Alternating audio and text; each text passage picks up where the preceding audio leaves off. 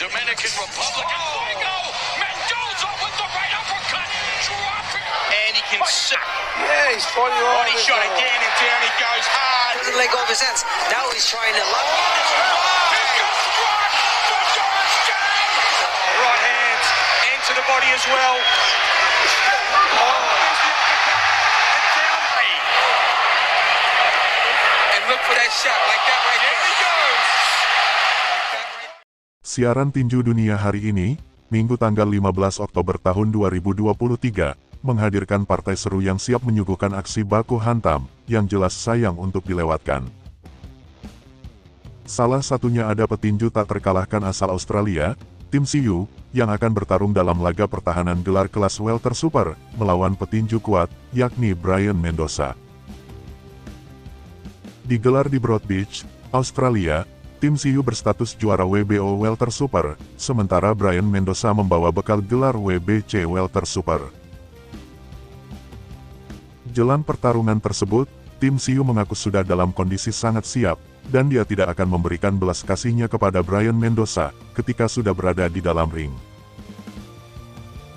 Petinju berjuluk The Soul Tucker ini, hanya memiliki satu hal saat bertarung di dalam ring, yakni kemenangan dengan cara apa pun, agar misinya menjadi juara tak terbantahkan dapat tercapai. Meskipun begitu, tim Siu sendiri menyadari bahwa Mendoza tengah naik daun, dan dalam performa terbaiknya. Namun, petarung asal Australia ini mengingatkan bahwa 23 kemenangan tanpa kekalahan yang dimilikinya, bukanlah angka omong kosong. Dalam menghadapi duel mempertahankan gelar ini, Siu memiliki modal yang cukup luar biasa, di mana ia dua kali berturut-turut memetik kemenangan KO. Sebelumnya, ia sukses merobohkan Carlos Ocampo di ronde pertama pada Juni lalu, dan juga berhasil menghentikan mantan juara dunia, Tony Harrison di ronde 9, tepatnya pada Maret tahun 2023. Petinju yang kini berusia 28 tahun tersebut, saat ini mengukir rekor 23 kali menang belum pernah kalah. Bukan kaleng-kaleng, tim Siu juga mempunyai rasio kemenangan KO yang cukup tinggi, yakni 73,91 persen. Di sudut lain, Brian Mendoza juga memasuki ring ini dengan rekor yang tak kalah apik dari tim Siu. Meskipun dalam duel ini Mendoza dipasang sebagai underdog, alias petarung yang tak diunggulkan, bukan berarti ia bakal mudah dikalahkan oleh tim Siu. Pasalnya Mendoza dipandang sebagai seorang pemukul yang kuat, dan juga petarung yang selalu tampil habis-habisan, demi meraih kemenangan.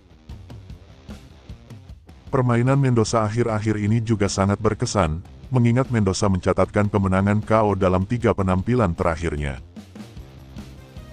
Bukan main-main, petinju berusia 29 tahun tersebut kini berstatus juara interim WBC kelas welter super.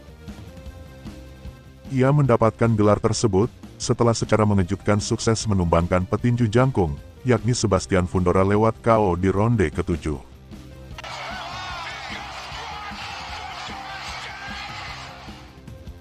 Debut menjadi petinju profesional sejak tahun 2014, saat ini Brian Mendoza mengoleksi rekor 22 kali menang, dua kali mengalami kekalahan.